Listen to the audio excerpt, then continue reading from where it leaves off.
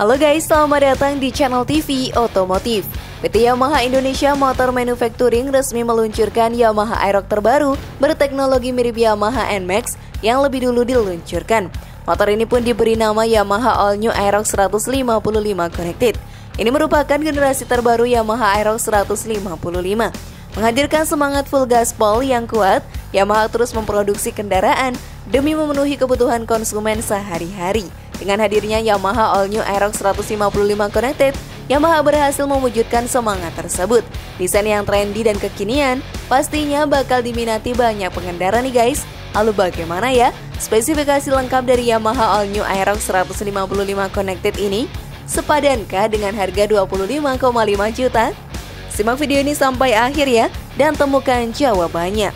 Inilah Yamaha Aerox 155 terbaru meluncur Harga mulai 25,5 juta versi dari channel TV otomotif.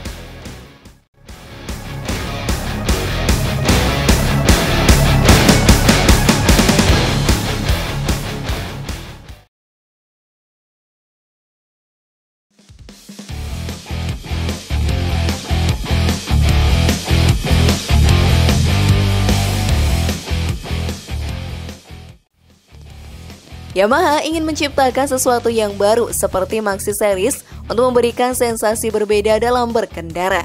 Kebanggaan besar memiliki konsep model baru, desain yang bagus, fitur yang berguna, serta performa mesin yang powerful. Ya, Yamaha selalu berupaya memberikan hal baru bagi para konsumennya.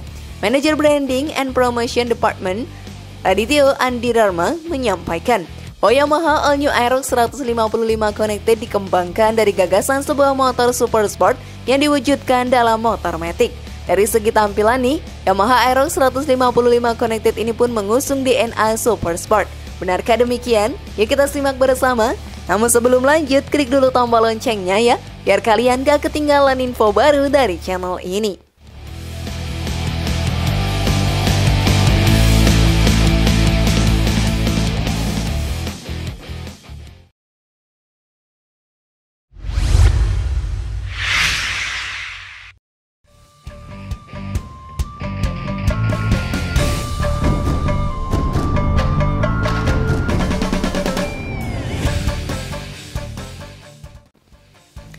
Spesifikasi Yamaha All New Aerox 155 Connected Ciri khas desain Except Yamaha All New Aerox 155 Connected menegaskan konsep crossover antara super sport dan skuter.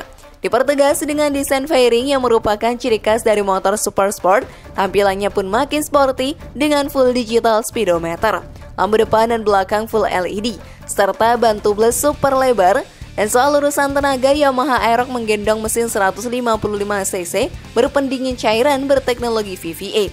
Bahkan, pihak Yamaha pun mengklaim Yamaha Aerox 155 Connected memiliki power to weight ratio yang tertinggi di kelasnya. Keunggulan Yamaha Aerox 155 Connected adalah terletak pada fiturnya. Layaknya NMAX, motor ini pun bisa terkoneksi dengan smartphone. Motor ini juga dapat terkoneksi dengan smartphone melalui aplikasi Y Connect di smartphone milikmu. Kelebihan fitur connected di antaranya bisa memantau kondisi aki dan oli mesin, mengetahui lokasi parkir terakhir, mengecek konsumsi bahan bakar, serta mengetahui posisi ranking beradu dengan pengendara lainnya yang menggunakan fitur serupa.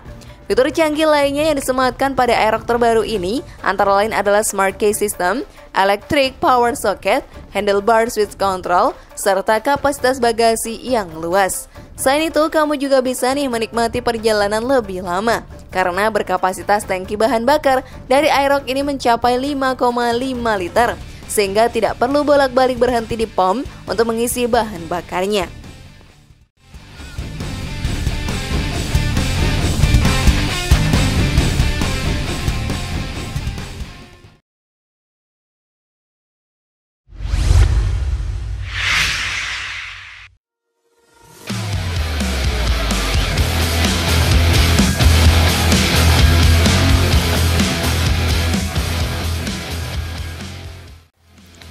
Varian dan harga baru. Yamaha pun menawarkan Aero Connected dalam dua tipe, yakni All New Aerox 155 Connected or ABS dan All New Aerox 155 Connected.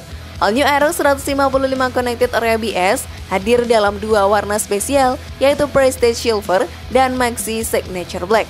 Sedangkan untuk tipe All New Aerox 155 Connected ditawarkan dengan empat pilihan warna yang meliputi dark gray yellow, matte black cyan, red, dan juga black. Yamaha Aerox 155 Connected RBS guys dijual seharga 29 juta dan untuk all new Aerox 155 Connected seharga 25 juta 500 ribu rupiah. Seluruhnya on the road Jakarta. Yamaha All New Aerox 155 Connected ini pun sudah tersedia di dealer resmi Yamaha mulai bulan November tahun lalu. Sudahkah kamu memilikinya?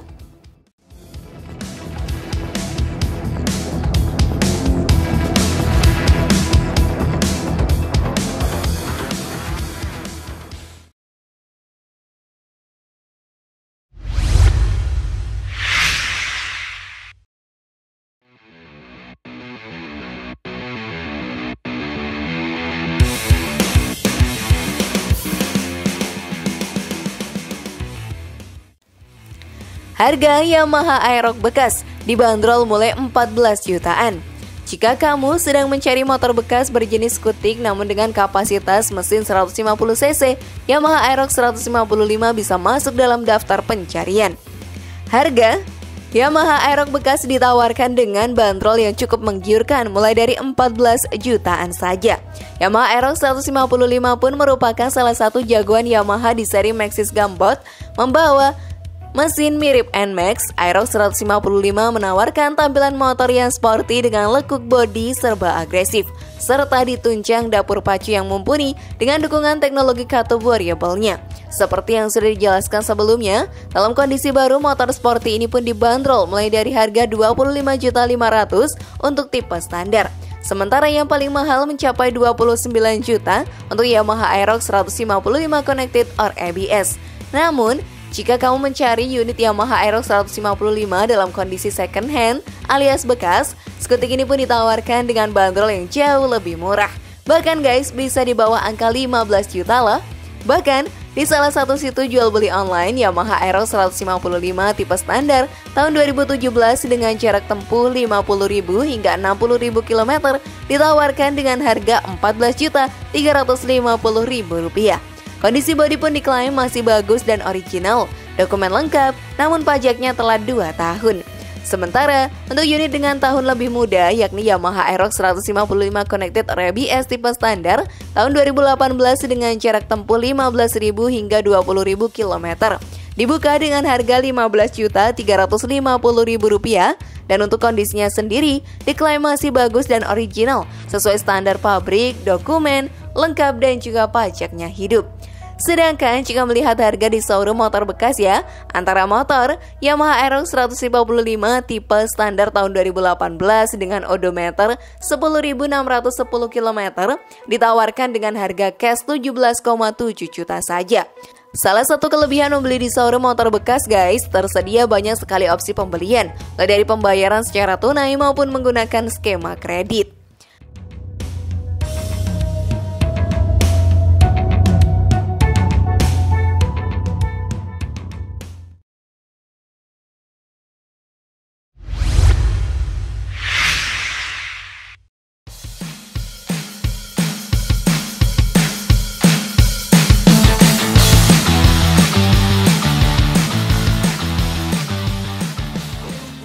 Lawan Aerox 155, Honda Vario bakal dijejali mesin 157.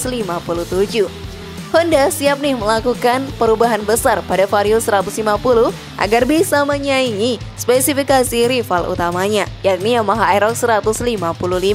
Honda Vario 150 yang sebelumnya begitu terobsesi dengan mesin 150 cc 2 katup akan di-upgrade menjadi kapasitas mesin 157 cc 4 katup. Seperti dilansir media otomotif Thailand Great Biker, Honda Vario 150 yang dipasarkan di negeri Gajah Putih dengan nama Honda Click Eye itu bakal mengusung mesin baru yang lebih bertenaga dibandingkan varian sebelumnya. Mengikuti jejak All New SH 150i dan All New Forza 350 yang sudah dirilis di Eropa. Vario 150 baru ini juga akan dibekali dengan mesin baru bernama ESP Plus. Mesin yang memiliki kode produk K59 ini pun diyakini memiliki kapasitas yang lebih besar, mencapai 157 cc. Sementara, jumlah katup bertambah dari dua katup menjadi empat katup. Walaupun spek dan powernya lebih besar, mesin ini pun disebut tetap hemat bahan bakar. Sedangkan dari segi desain eksterior belum ada informasi pasti yang beredar. Akan tetapi Vario 150 terbaru diharapkan tetap mengusung desain saat ini yang sudah diterima di pasaran. Sistem kontrol traksi HSTC juga diharapkan terpasang nih untuk melawan Yamaha NMAX baru yang sudah dibekali dengan fitur serupa.